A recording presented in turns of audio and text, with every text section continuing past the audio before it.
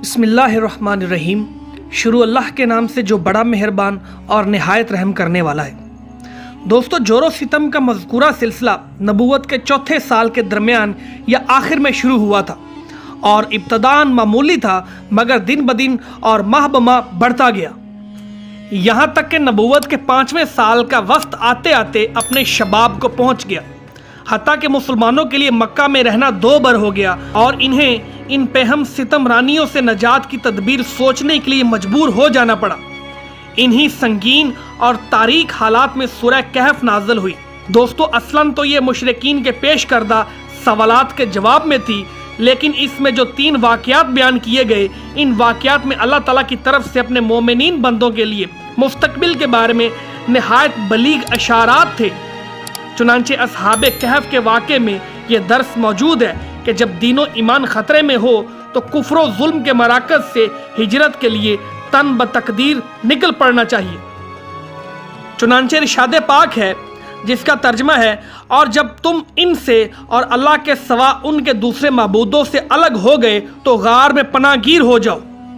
तुम्हारा रब तुम्हारे लिए अपनी रहमत फैला देगा और तुम्हारे काम के लिए तुम्हारी सहूलत की चीज़ तुम्हें मुहैया कर देगा।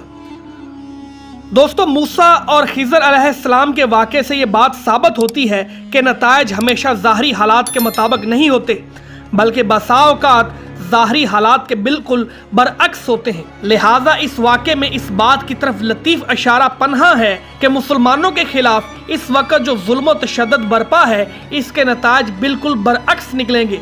और ये सरकश मुशरकिन अगर ईमान ना लाए तो आइंदा इन्हीं मकहूर व मजबूर मुसलमानों के सामने सर निगो होकर अपनी किस्मत के फैसले के लिए पेश होंगे। जुल्करनैन के वाक़े में चंद खास बातों की तरफ़ इशारा है। नंबर एक ये कि ज़मीन अल्लाह की है, वो अपने बंदों में से जिसे चाहता है, उसका वारिस बनाता है। नंबर दो ये कि फलाह कामरानी ईमान ही की राह में है, कुफर की राह में नहीं। नंबर तीन ये कि अल्लाह ताला रह रह कर अपने बंदों में से ऐसे अफराद खड़े करता रहता है, जो मजबूर व मकहूर इंसानों को इस दौर के याजूज माजूज से निजात दिलाते हैं। नंबर चार ये कि अल्लाह के साले बंदे ही ज़मीन की विरासत के सबसे ज़्यादा हकदार हैं। दोस्तों, फिर सुरह कहफ के बाद सुरह जुमर का नजूल हुआ। उसमें हिजरत की तरफ़ इशारा किया गया और बताया गया कि अल्लाह की ज़मीन तंग नहीं है। एक आयत का तर्जमा है कि जिन लोगों ने इस दुनिया में अच्छाई की, उनके लिए अच्छाई है। और अल्लाह की ज़मीन कुशादा है, सब्र करने वालों को उनका अजर बिला हिसाब दिया जाएगा। इधर रसूलुल्लाह सल्लल्लाहु अलैहि वसल्लम को मालूम था कि असहामा नजाशी शाह हबश एक आदल बादशाह है। वहाँ किसी पर जुल्म नहीं होता। इसलिए आपने मुसलमानों को हुक्म दिया कि वो फितनों से अपने दीन की हिफाजत के लिए हबशा हिजरत कर जाएँ। उसके बाद एक तयशुदा प्रोग्राम के मुताबिक रजब पाँच सन नबी में सहाबा कराम के पहले ग्रोह ने हबशा की जन्म हिजरत की। इस ग्रोह में बारह मर्द और चार औरतें थीं। हज़रत उस्मान बिन अफ़ान इनके अमीर थे और उनके हमरा रसूल सल्लल्लाहु की साहबजादी हज़रत रकिया भी थीं। रसूल वसल्लम ने इनके बारे में फरमाया कि हज़रत इब्राहिम और हज़रत लूत अलैहिस्सलाम के बाद ये पहला घराना है जिसने अल्लाह की राह में हिजरत की। दोस्तों, ये लोग रात की तारीकी में चुपके से निकलकर अपनी नई मंजिल की जानब रवाना हुए।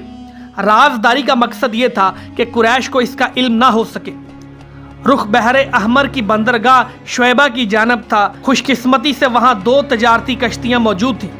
जो इन्हें अपने दामने आफियत में लेकर समंदर पार हबशा चली गई। कुरैश को किसी कदर बाद में उनकी रवानगी का इल्म हो सका, ताहम इन्होंने पीछा किया और साल तक पहुँचे। लेकिन सहाबा करम आगे जा चुके थे, इसलिए नामुराद वापस आए। इधर मुसलमानों ने हबशा पहुंचकर बड़े चैन का सांस लिया। इसी साल रमज़ान शरीफ में यह वाक़ पेश आया कि नबी सल्लल्लाहु अलैहि वसल्लम एक बार हरम तशरीफ़ ले गए। वहाँ कुरैश का बहुत बड़ा मजमा था। उनके सरदार और बड़े बड़े लोग जमा थे। आप सल्लल्लाहु अलैहि वसल्लम ने एकदम अचानक खड़े होकर सूरह नजम की तलावत शुरू कर दी। इन कुफार ने इससे पहले अमूमन कुरान सुनाना था, क्योंकि उनका दायमी वतीरा कुरान के अल्फाज में यह था कि इस कुरान को मत सुनो और उसमें खलल डालो, उधम मचाओ ताकि तुम गालिब रहो। लेकिन जब नबी सल्लल्लाहु अलैहि वसल्लम ने अचानक इस सूरा की तलावत शुरू कर दी और उनके कानों में एक नाकाबले बयान रहनाई और दिलकशी और अजमत लिए हुए कलाम इलाही की आवाज़ पड़ी तो इन्हें कुछ होश न रहा। सब के सब गोश बर आवाज़ हो गए। किसी के दिल में कोई और ख्याल ही ना आया। यहाँ तक कि जब आप सल्लल्लाहु अलैहि वसल्लम ने सूरा के अवाखर में दिल दहला देने वाली आयात तलावत फरमा कर अल्लाह का ये हुक्म सुनाया कि अल्लाह के लिए सजदा करो और उसकी इबादत करो।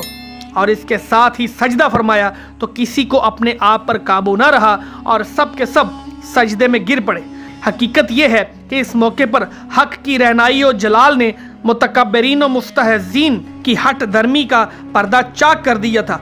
इसलिए इन्हें अपने आप पर काबू ना रह गया था और वो बेख्तियार सजदे में गिर पड़े थे। बाद में जब इन्हें एहसास हुआ कि कलाम इलाही के जलाल ने उनकी लगाम मोड़ दी और वो ठीक वही काम कर बैठे जिसे मिटाने और ख़त्म करने के लिए इन्होंने एड़ी से चोटी तक का ज़ोर लगा रखा था।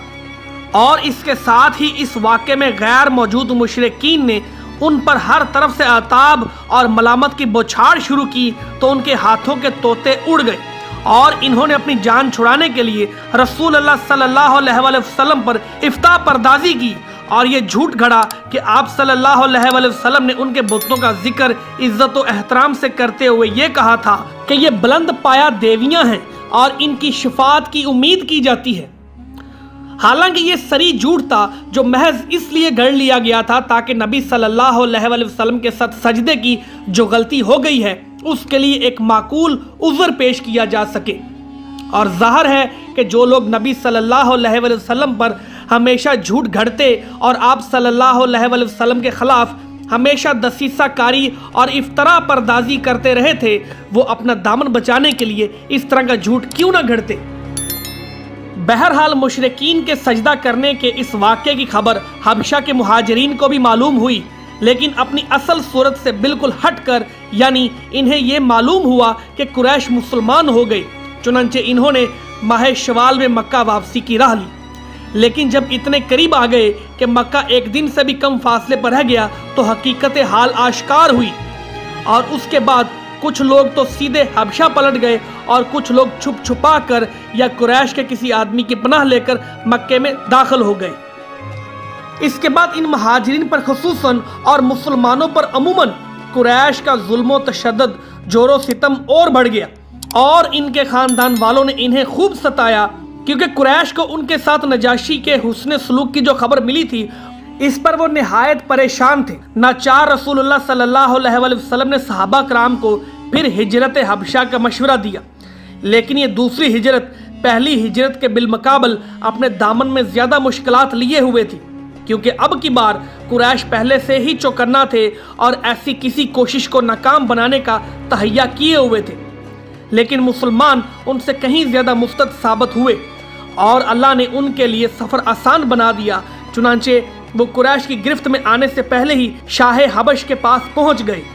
दोस्तों, इस दफ़ा कुल बयासी या तिरासी मर्दों ने हिजरत की और 18 या 19 औरतों ने और 18 या 19 औरतों ने। अलामा मंसूरपुरी ने यकीन के साथ औरतों की तादाद 18 लिखी है।